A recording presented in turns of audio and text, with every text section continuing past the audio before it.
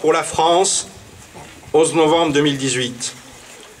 Adjudant Émilien Mougin, 32 ans, premier régiment de Safi, mort pour la France au Mali, le 21 février 2018.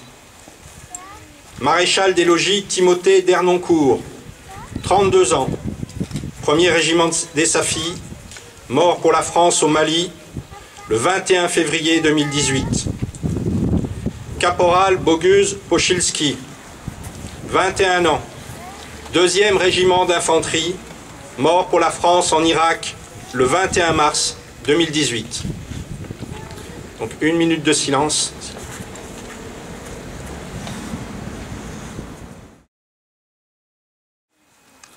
Merci.